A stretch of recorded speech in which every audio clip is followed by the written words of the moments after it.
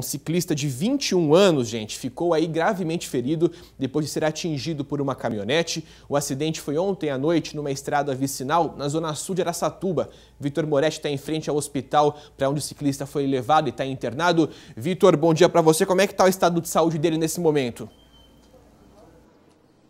É estável, viu, Casagrande? Bom dia para você, bom dia a todos que nos acompanham aqui na tela do SBT Interior.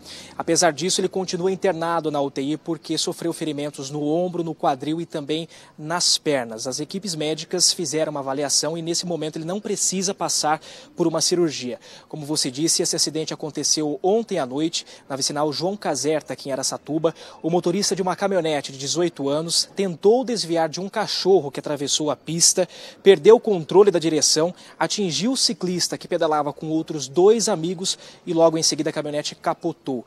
Ah, tanto o motorista quanto o pai dele, de 55 anos, que estava no banco de passageiros, eles ficaram feridos, foram socorridos pelo resgate e encaminhados até o pronto-socorro da Santa Casa, aqui de Araçatuba, onde continuam internados. A gente tentou contato com a assessoria de imprensa, mas até agora não sabemos o estado de saúde dos dois. Já o jovem, como eu disse, ele continua internado aqui na UTI sem previsão previsão de alta.